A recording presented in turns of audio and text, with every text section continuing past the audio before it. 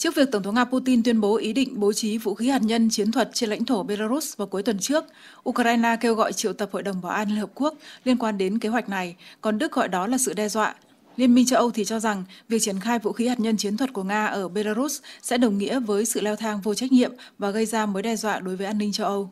Người đứng đầu cơ quan ngoại giao châu Âu Joseph Borrell đã tuyên bố EU sẵn sàng đáp trả bằng các biện pháp trừng phạt tiếp theo.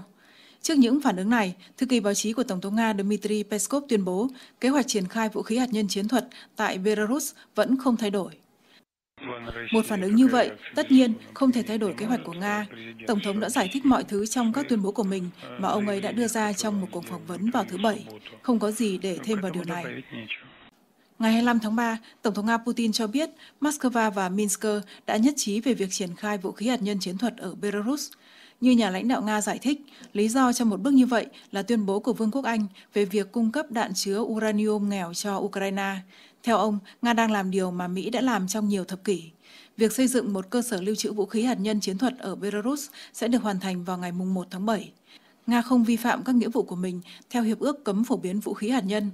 Tổng thống Putin cũng cho biết vào ngày 3 tháng 4, Moscow sẽ bắt đầu huấn luyện phi hành đoàn vận hành máy bay được chuyển đổi sang sử dụng vũ khí chiến thuật.